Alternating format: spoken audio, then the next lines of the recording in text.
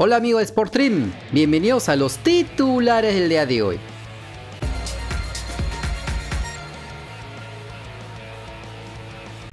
En partido amistoso en el Audi Field de Estados Unidos, el DC United de los peruanos Jordi Reina y Jason Flores le ganó por la mínima diferencia a la Alianza Fútbol Club de El Salvador.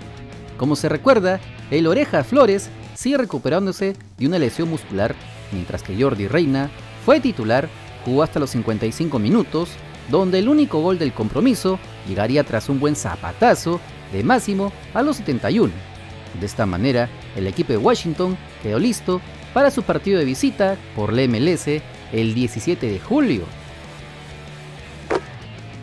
El entrenador del Cusco Fútbol Club, Claudio Vivas, habló de la posibilidad de incorporar a Paul Hurtado para la fase 2 al equipo aurinegro. Existe el deseo de contar con Paul Hurtado. La realidad es que no hemos avanzado mucho, pero nuestro interés de contar con Paolo es muy grande y es el deseo de todo el club. No es algo sencillo, pero no hay que abandonar la lucha y hay que ver si podemos incorporarlo. Estamos bien preparados y con mucho entusiasmo para lo que se viene. Estamos para competir de igual a igual con cualquiera. Lo primero que tenemos que lograr es afianzarnos en la idea futbolística, en lograr resultados buenos, salir de la posición incómoda y estar en los puestos de arriba. Cuando empieza una competencia, todos tienen la ilusión de quedarse con el premio mayor. Vamos a pelear por eso y vamos a tratar de lograrlo. Por su parte, Roberto Mosquera, técnico del Sporting Cristal, valoró el triunfo frente al Arsenal de Sarandí. Además se refirió de la situación de Martín Tábara. Era un rival difícil, duro, costó entrar al juego de nosotros. El tema era correr igual o más que ellos y después no apartarnos de nuestro juego. Nos costó en el primer tiempo, pero después equilibramos el juego.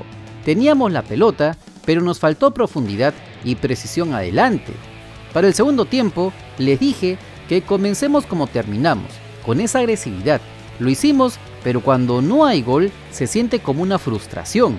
Nos hicieron un gol raro, y eso nos bajoneó unos minutos, y tuve que poner la inyección que había en el banco. Hizo efecto. Los chicos que entraron lo hicieron bastante bien, y es un mérito voltear el partido con carácter, pero con fútbol también. Noto una diferencia de no darle valor a lo que hicieron Irben Ávila y Marco Riquelme. Es cierto que estuvieron inconexos por momentos, pero le doy un margen importante a Irben por lo que tuvo que correr, y el esfuerzo de Riquelme tiene un mérito también. Este es un equipo, y acá todos tienen el mismo valor. Alejandro Hover viene siendo el goleador de Cristal en esta temporada. Tuvo una pequeña lesión, no pudo jugar la final del torneo.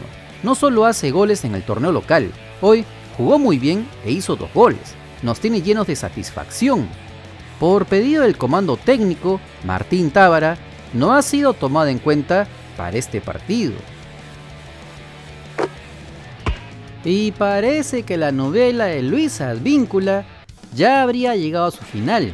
Y es que según el portal argentino Doble Amarilla, el lateral peruano es nuevo jugador de Boca Juniors.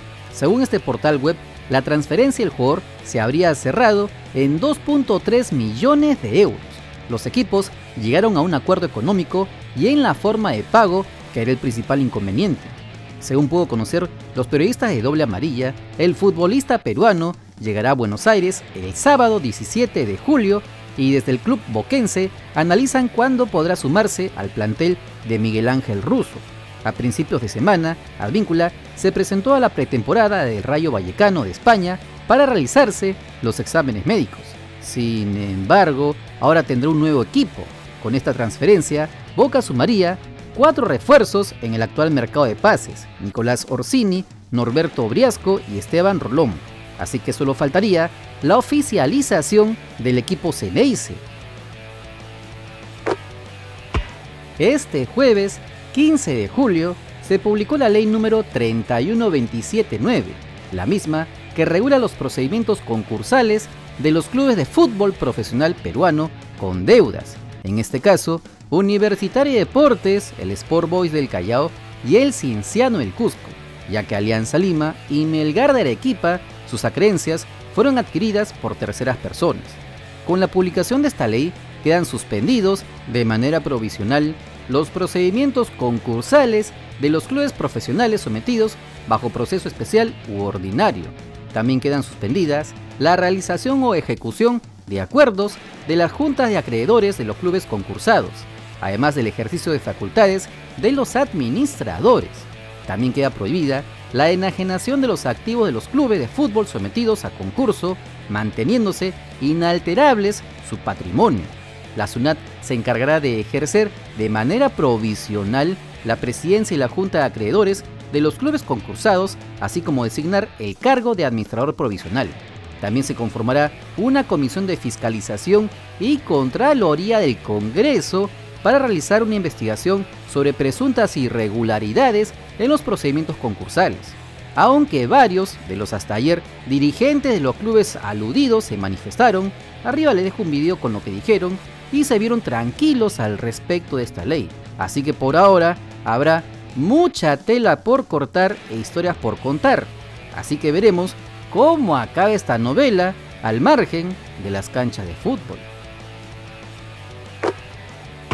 Y este video llega gracias a todos los hermanos miembros cracks y también los hermanos miembros pro, Coronados Gamers, Kiki Cardosa, César Astete, Eduardo Saldarriaga, Gustavo Espinosa, De Esquina, Carlos Quiña, Airan Donaire, Enrique Yanayaco, Ángel Benjamín González Siguas, Renato, Joel Flores, Japalian Huarca, Gerson Almeida, Julio Dante Cárdenas, Oliver X10, Sebastián Díaz Lázaro, Kevin González, Daniel Canazas y un saludo especial a nuestros miembros Master, Sebastián Simpión, Andy, Freddy Segura y honramos con un saludo especial al dios del canal, Brian Maldonado, José Albújar,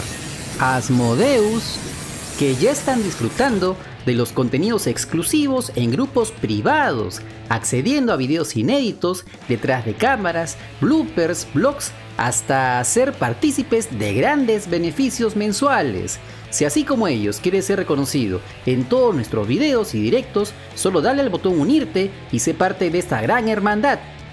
No te olvides que si quieres estar enterado de las últimas novedades de nuestro balompié, solo suscríbete al canal porque somos el canal del fútbol peruano. Si te gustó el video, de like, comparte, suscríbete con la campanita. Nos vemos en el siguiente video. ¡Chao!